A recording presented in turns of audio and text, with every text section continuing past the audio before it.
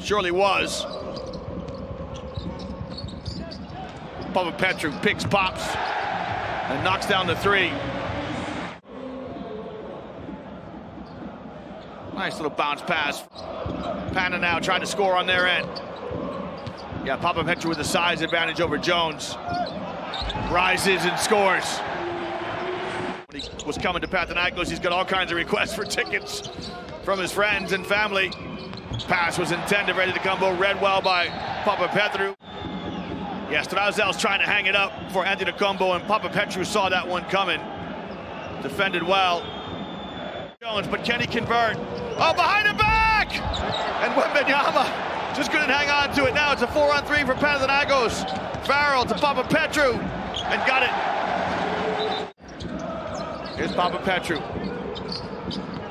Guarded by Jones. Gets to the halo and got it. Good low post play by Papapetrou.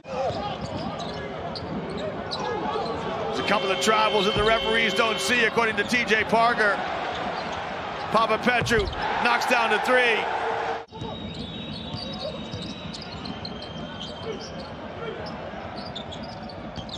Papapetrou didn't quite get his feet set, but he knocks down the three. He wasn't quite squared up. That is his third.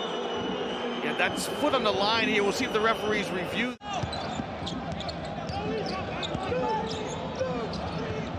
White steps into a three. That's good. Well, Okaro White, little drag screen to try and free.